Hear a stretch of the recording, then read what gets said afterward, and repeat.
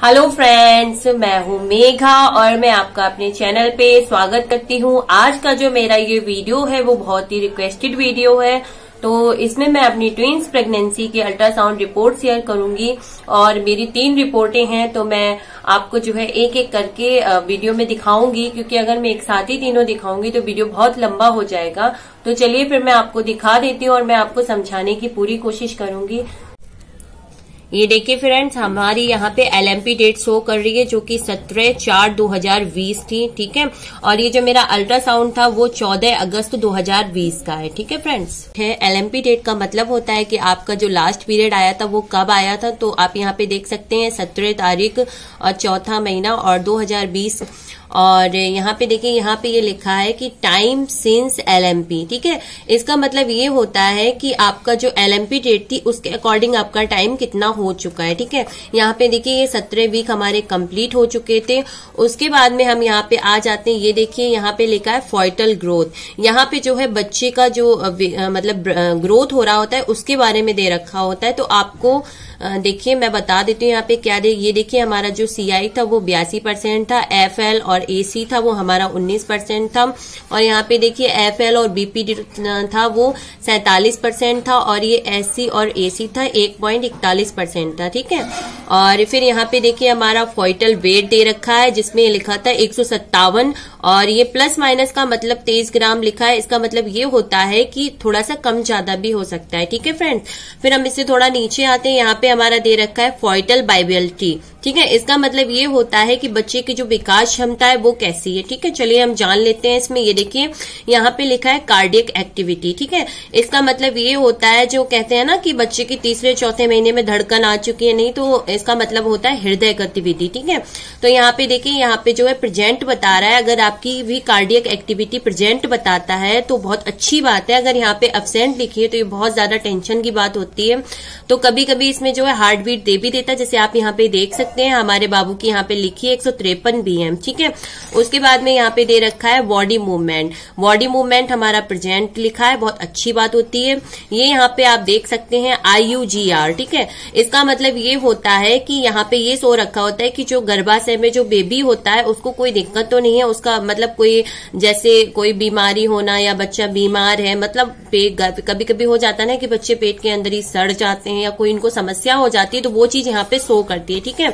और अगर ऐसी कोई समस्या नहीं है तो यहाँ पे ये लिखा रहता है नील, ठीक है? इसका मतलब होता है शून्य। ठीक है?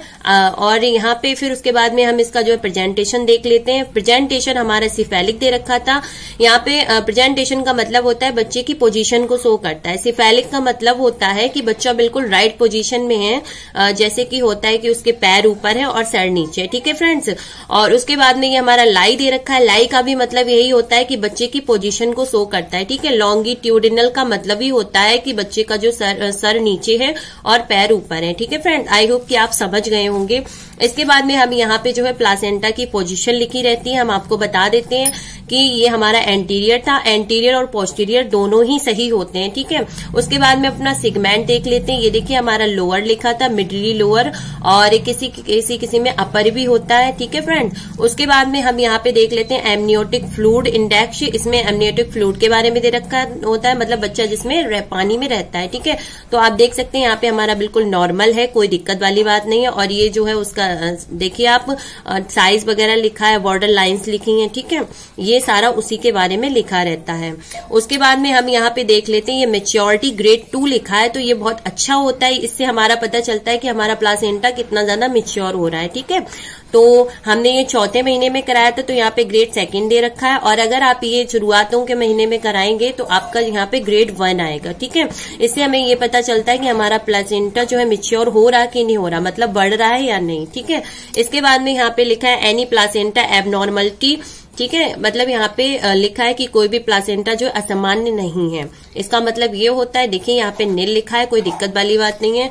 उसके बाद में यहाँ पे टोटल इम्प्रेशन दे रखा है। इम्प्रेशन आप देख सकते हैं सिंगल बाइबल फोइटस ऑफ़ सत्रह week three days plus minus और फोर्टीन डेज़ उसके बाद में means ultrasound get gestational age is seen inside uterus ठीक है, इसमें दे रखा है। आप यहाँ पे देख सकते हैं। इसमें सिंगल बाइबल फोटस दे रखा था, जबकि मेरा ट्विंस था। तो पता नहीं यहाँ पे कैसे गलती हो गई, मुझे खुद नहीं मालूम ये बात। और यहाँ पे टाइम टोटल दे रखा है कि सत्रह वीक और तीन दिन हो चुके थे। और ये प्लस माइनस चौदह दिन का मतलब होता है कि आगे पीछे भी हो सकते हैं। ठीक है? उसके बाद में आप यहाँ पे देख सकते हैं ईडीडी ईडीडी का मतलब होता है कि आपकी डिलीवरी डेट है। ठीक है? और यहाँ पे मेरी डिलीवरी डेट रखी थी बाईस एक दो हज़ार इक्कीस। और मैं आपको यहाँ पे एक बात बता दूँ कि ईडीडी जो है आपकी बदलती रहती है। जैसे जैसे बेबी ग्रोथ करता है, जैसे जैसे आप अल्ट्रासाउंड करवाएँगे आने वाले टाइम पे तो आपकी ईडीडी यहाँ पे चेंज होती रहेगी। ठीक है? तो अभी ये वाली ईडीडी कोई मायने नहीं रखती है, क्योंकि ये सिर्फ़ फोर मंथ ही कंप्लीट हुए थे।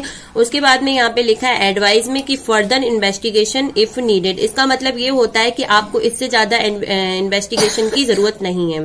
ठीक है फ्रेंड्स आई होप कि आपको ये जानकारी अच्छी लगी होगी। और अगर आपको अभी कोई डाउट हो तो आप मुझसे पूछ सकते हैं कमेंट करके। और हाँ जो ये लगभग चार महीने का अल्ट्रासाउंड है तो चार महीने में लगभग इतना ही जानना ज़रूरी होता है कि बच्चे का वेट बच्चे की धड़कन आगे की नहीं आगे, उसकी बॉडी एक्टिव प्रेजेंट है कि नहीं, ठीक है?